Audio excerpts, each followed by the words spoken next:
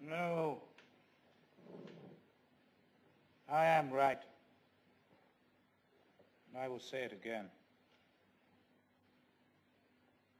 Simonne. Fetch bar. It is urgent. My call. Marat, what are all your pamphlets and speeches compared with her? She stands here and will come to you to kiss you and embrace you. Marat, an untouched virgin stands before you and offers herself to you. See how she smiles, how her teeth shine, how she shakes her dark hair aside. Marat, forget the rest. There's nothing else beyond the body.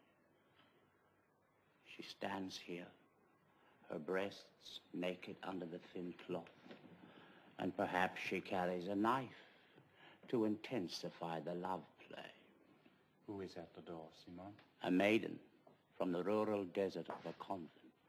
Imagine those pure girls lying there in rough shifts on hard floor and the heated air from the field forcing its way to them through barred windows. Imagine them lying there moist thighs and breasts, dreaming of those who control life in the outside world. And then she was tired of her isolation and caught up in the new age and gathered up in the great tide and wished to be part of the revolution. But what's the point of a revolution without general copulation? And what's the point of a revolution without general, general copulation, copulation, copulation?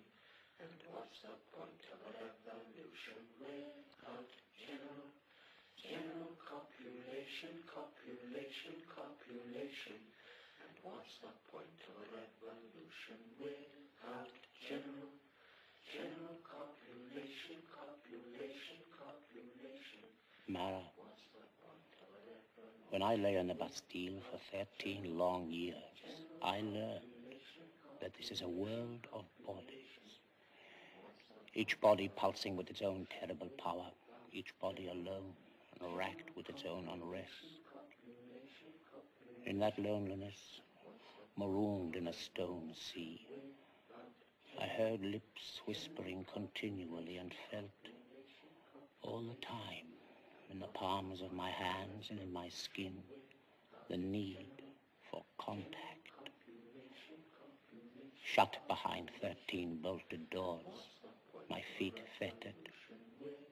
I dreamed only of the orifices of the body, put there so that one may hook and twine oneself in them. Continually I dreamed of this confrontation. And it was a dream of the most savage, jealous, and cruelest imagining. Marat, these cells of the inner self are worse than the deepest stone dungeon. And as long as they are locked, all your revolution is but a prison mutiny to be put down by corrupted fellow prisoners. revolution, revolution, revolution.